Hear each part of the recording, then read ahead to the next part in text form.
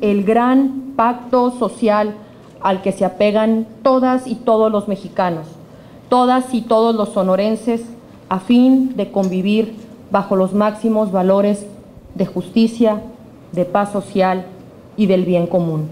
Que yo confío, porque los conozco a cada uno de ustedes y sé de su talento y de su compromiso ciudadano, sabrán cumplir sacando adelante el reto que ahora se nos presenta. Revivir, revivir el sentido constitucionalista en cada uno de los sonorenses.